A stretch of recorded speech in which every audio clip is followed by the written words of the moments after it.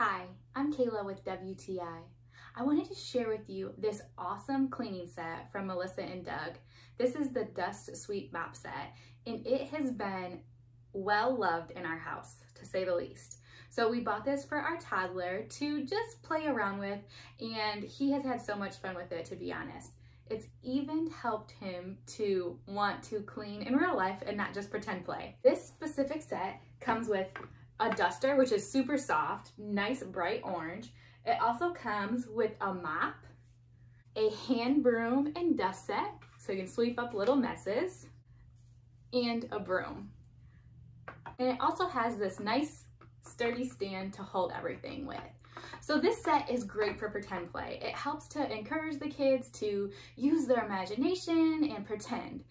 So here's a little parenting tip or hack. I don't know if it's even that, but one of the reasons why I love this set.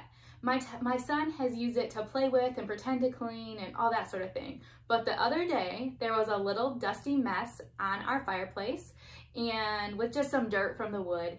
And what he did was went and grabbed his dustpan and his hand broom and he actually used it to clean up the mess.